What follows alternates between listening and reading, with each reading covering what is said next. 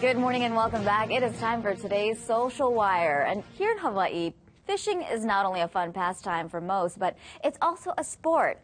Well, in Maryland, one fish in particular is being sought after, not for eating, but it actually has a bounty on it.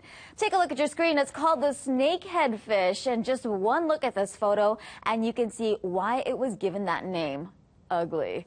This particular breed of fish has been ruining ecosystems of lakes, ponds, and streams, and they can even survive on land. Snakehead fish are native to Africa and Asia, but somehow manage to make their way to American waters.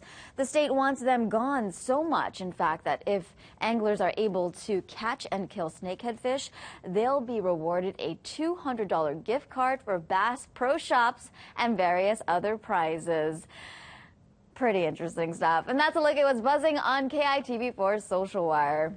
Ooh. Pretty fun for a lot of those guys, but yeah, it's an ugly fish. And I guess more reason for fishermen to go out. They can say, well, I got to go and make money and catch this fish. So, Those nasty teeth. They need more fishing supplies. yeah.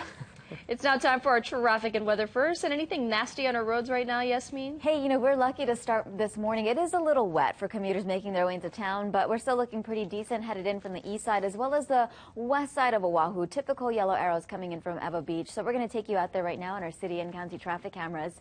On the right hand side, uh, by Fort Weaver and Kolawaka.